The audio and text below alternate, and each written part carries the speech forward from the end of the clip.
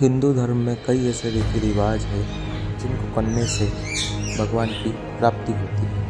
वो भगवान की कृपा बरसती है। इस बार सोमवती अमावस पर दुर्लभ संयोग बनने जा रहा है। इस संयोग में पवित्र नदियों में स्नान आदि करके दान पुण्य करने से पितरों को मोक्ष मिलता है।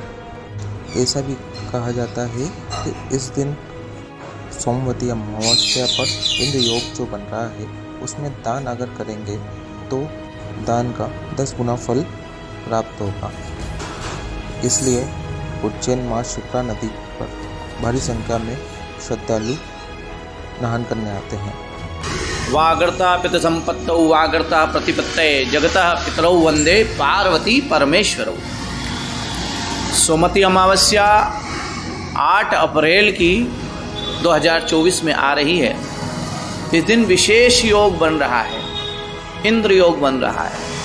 चैत्र मास की अमावस्या यदि सोमती अमावस्या पड़ती है तो गरुड़ पुराण के अनुसार उसे इंद्र योग की अमावस्या कहते हैं। इस अमावस्या में किया हुआ दान पुण्य हमें इंद्र पद की प्राप्ति करवा सकता है, पुराणों के अनुसार।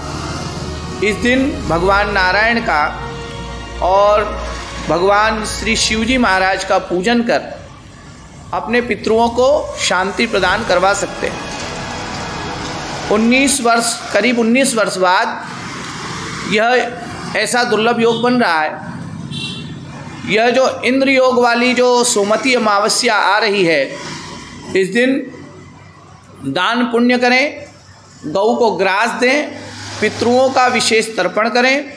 इस दिन यदि हम पितरों का तर्पण करते हैं तो वह वो पितृ इंद्र पद को प्राप्त होते हैं, गरुड़ पुराण के अनुसार। ऐसा करने से हमारे पितृ और हमारे जो इष्ट देव हैं वो प्रसन्न होते हैं और हमें शुभ फल की प्राप्ति होती है। जय श्री कृष्ण।